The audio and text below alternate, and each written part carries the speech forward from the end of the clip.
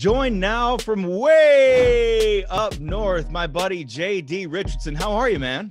I'm fantastic, man. Thank you. It's so good to talk to you. Uh, you live in Alaska. You're repping the Titans gear. How does someone in Alaska become a Tennessee Titans fan? Yeah, it, it all happened. I think I was like eight years old, and it was a Sunday morning. I think I was waiting for uh, my family to get ready for church and uh, turned on some NFL football. Uh, saw the two tone blue, Eddie George, Steve McNair, and um, they got me into football. So we're not really obligated to a specific team up here. Okay. Um, a lot of people uh, they like to go with the Seattle Seahawks because they're the closest state to us. I'm different and um, chose my own path and stuck with the Titans. Uh, do you have a, a favorite uh, a Titan player of all time?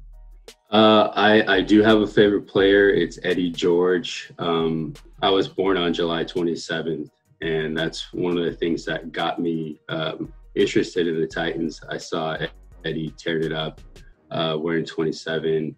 But besides Eddie, I'd probably have to say Jevon Kearse, the freak. So the freak.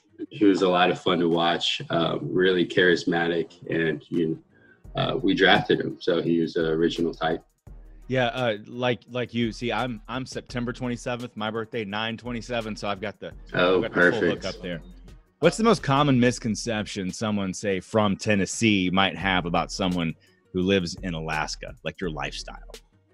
Mm, yeah, I I probably say there's no snow 24 uh, seven.